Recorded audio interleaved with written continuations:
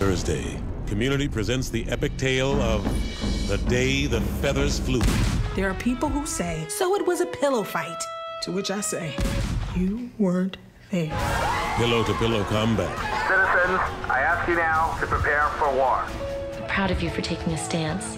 Text message, Annie Edison. Be a part of history. What the heck is that? Part man, part pillow. Freedom!